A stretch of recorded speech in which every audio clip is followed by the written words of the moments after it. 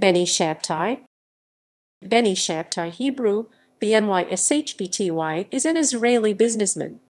He was the president of Raymond Weil USA, which was the exclusive distributor of Raymond Weil watches in the United States until 2009, when he sold his company. In 2014, Shabtai and his family also sold their controlling share in Viber, the Israeli instant messaging, voice and video calling app. Early life Benny Shabtai was born in Tel Aviv and raised on a kibbutz. He has two siblings.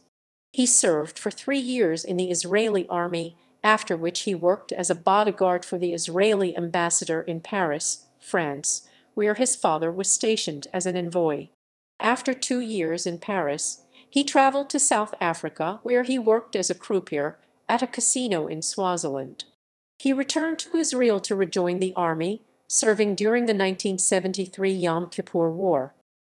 Business career after completing his reserve duty, Shabtai relocated to the U.S. The U.S. The U.S. The U.S. needed to the U.S. He began working at the now defunct Eastman Watch Company, an importer of inexpensive watches from Hong Kong.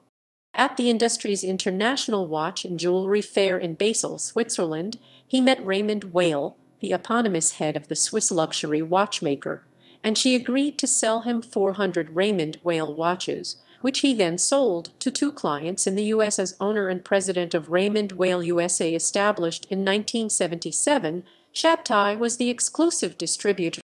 In February 2014, the $900 million sale of Viber, an Israeli instant messaging, voice and video calling app, to Japanese company Rakuten earned the Shabtai family Benny, his brother Gilad, and Gilad's son Ofer some $500 million from their 55.2% stake.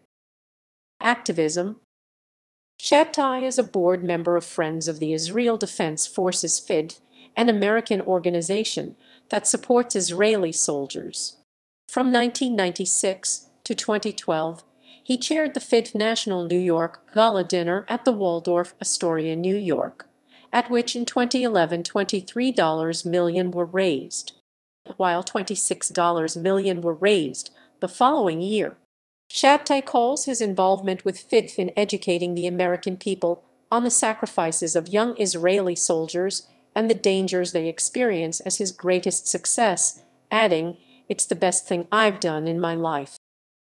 Personal life Shabtai is divorced from Lori Waits, with whom they had three children.